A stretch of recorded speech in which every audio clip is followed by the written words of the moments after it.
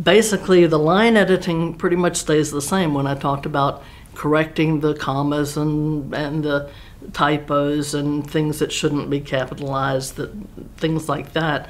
Those line editing things are going to be about the same in fiction and nonfiction. But fiction has a set of elements like plot and characterization and um, all sorts of other things and that that nonfiction basically has organization and uh, whether the information is clear. So the difference really is addressing which elements when you're looking at the big picture. Is the nonfiction book well organized?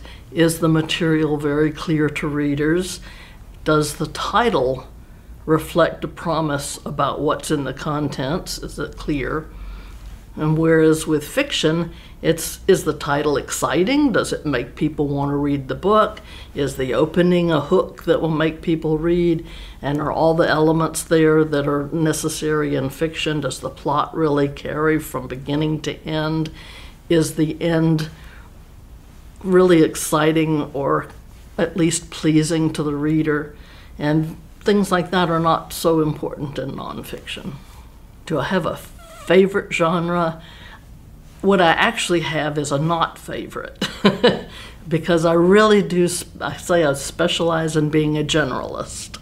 Um, I read so many different things for fun that that it's I seem to be open to things.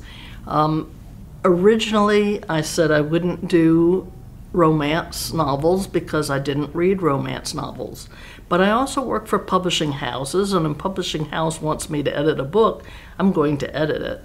And the, one of the publishing houses said, sent me a romance novel. And I said, you know, I told you from the beginning this isn't what I edit. And they said, but you did this other series so well. Um, we liked that other series. Would you just give it a shot on this romance novel? Well, it turned out to be a romance novel with a werewolf in it, and he was a very hot werewolf.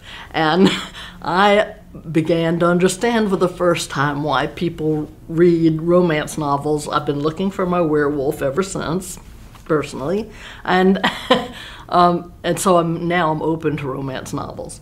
What I still won't do is religious tomes. I'm not. That's not my area of expertise, and um, uh, political books uh, wouldn't interest me enough and might differ from my politics, and that might be a little con- conflicting. But mostly, I handle most genres, and in fiction and nonfiction, um, subject matter, as long as it's not religious, I'm pretty good with it.